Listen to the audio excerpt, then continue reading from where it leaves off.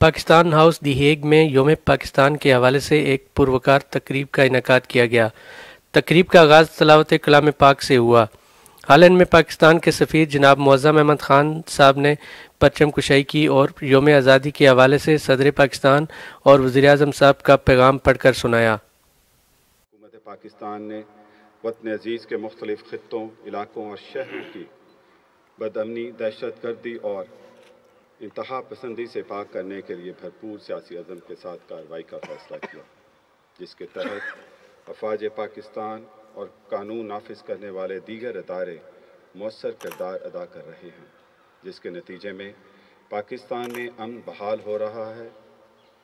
इसी तरीक, इसी तरह इकतसादी बेहतरी के लिए भी हकूमत ने ठोस पॉलिसियाँ अख्तियार की हैं, जिनके नतीजे में कारोबारी माहौल बेहतर हो रहा है।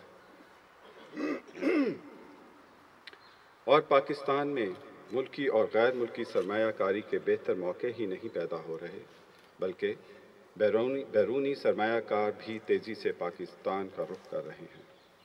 ये तब्दीलियाँ हमारे इकतसादी मुस्तबिल के लिए नेक फ़ाल की हैसियत रखती हैं, जिनसे वाजिया होता है कि पाकिस्तान के लिए नए इम्कान के दरवाजे खुल रहे हैं। उर्दू चर्च दिहेक के म्यूज़िकल ग्रुप ने कौमी नगमे पेश करके हाजरीन से खूब दाद समेटी।